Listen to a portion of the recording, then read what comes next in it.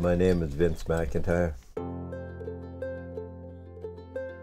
I'm 67 years old. I was born in the west of Ireland. I've lived here since 1979. 30 years later, still here.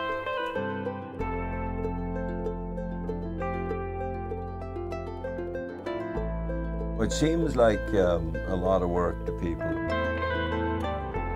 Most people in uh, today's world, they don't have time for all that uh, effort. And uh, I've got used to it. You have to have the discipline to get up in the morning when you have to. You have to put up with uh, discomfort. And then you have to see what you're doing as being part of your survival.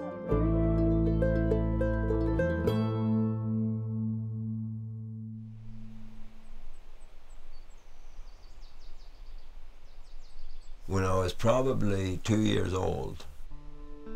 My father was out mowing oats with a scythe, and my mother was out, you know, picking up the sheaves and tying them, and they were making stooks. And she left me bedded down on the one of them stooks. And the sun turned blue. It was an eclipse. We seen an eclipse. And I remember the look on my mother's face, the fear of looking at the sky and seeing uh, that maybe this was the end of the world or something. And that instilled something in me. When I come to Canada first, me and my sister and brother, we went to work for this Dutch family. We worked on all these different things, picking peas or strawberries or tomatoes and uh, um, making hay and all this stuff. It was very interesting. Eh? And then we moved away from that part of Ontario and we went to work in a market garden closer to Toronto and that was already being industrialized. It was like long rows of like one thing, like green onions, like a three ton truckload of Dutch sets would come in, we had to plant all of them, you know and we didn't get to go around to the summer cottages to help the farmer deliver and sell to the summer cottages. All this was cut out. We were just robots. And uh, that's when I uh, began to hate it, began to hate farming. And I swore I would never do it in my life again.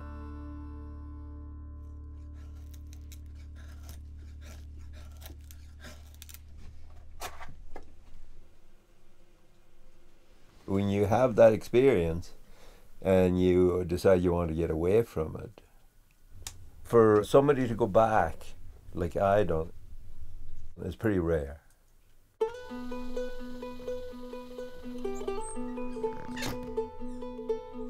I started out wanting to make lots of money. I went and worked in the Arctic and ran big machinery and worked long shifts. I'd worked on boats and stuff a lot. I worked in mines and uh, logging and all that, and it's brutal.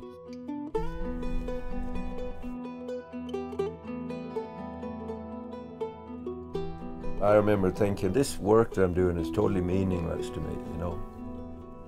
And my experience with the Dutch farmer was so beautiful, and the people were so kind and positive, and they weren't just like stressed out about the work or anything like that.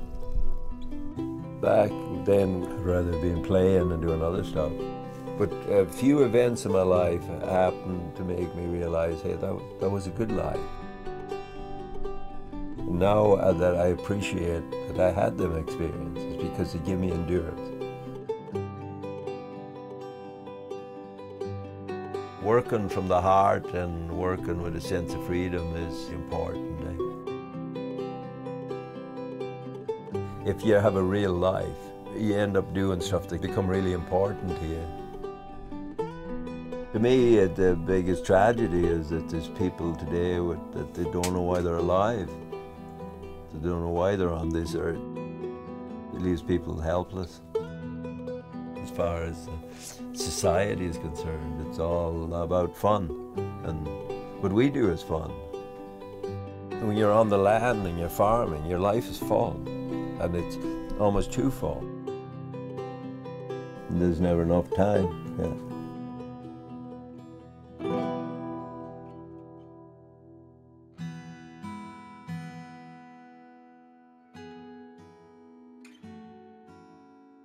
I've never been really big in doing stuff for myself. If it's to take care of my own needs, I'm, I'm totally lazy. So what motivates me is working with other people. People come into my life that, uh, that I, have worked with, uh, they're my heroes. Yeah, we have to have our heroes. We have to see the good in humans, eh? And that's the way I find the good in humans, the people I work with. I find out who they are and what they're made of. And I might seem harsh on people and hard on people, and I am, and I'm never going to be different. Because this isn't something that you might play at, you know, because I don't play at it, uh, you know. To me, life is do or die, and then, then you're living.